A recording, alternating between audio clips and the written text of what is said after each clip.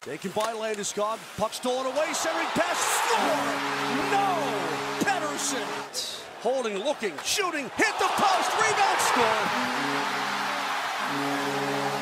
It's a power play goal to the Avs.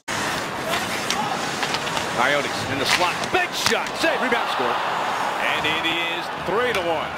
Two on one Jackets. But Duchene is flying back. Foligno shot Score. And the Blue Jackets win in overtime. Four to three. Comes in over the line. Pass broken up. Abdicated follows. Centers. Franzen scores. Oh my goodness gracious. Still in the game says. Kapensky walks in alone. Backhander scores. And it is three to one for the Florida Pass Panthers. up the slot held in. Dukestead cuts in. Backhander. Another nice save. Rebound shot. And score. As the puck for Detroit. Slides it in front. Poked in.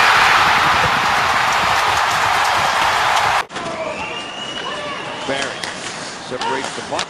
Connectman Larson put in the corner, but it hit the referee. Center front for Dunn. He scores. It hit the referee and came out for the Coyotes. Bowen backhands the puck into the Avalanche. No score. We are in the first period of play. Kane centers backhand score. Number one of the game, belonging to the Red Wings. That's it. Scores.